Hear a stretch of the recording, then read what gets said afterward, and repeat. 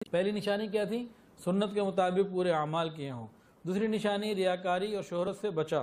तीसरी निशानी, वो हज हज मबरूर है जो कबूल हो जाए। और कबूल वो अमल होता है जो हलाल माल से हो और तकवा के साथ हो। चौथी निशानी, हज में गुनाहों से बचता रहा हो। और पांचवी निशानी, वापस आने के बाद गुनाह करना पहले से मुश्किल हो जाए, छठी निशानी नेकी करना पहले से आसान हो जाए और सातवीं निशानी आखिरत की तरफ़ रगबत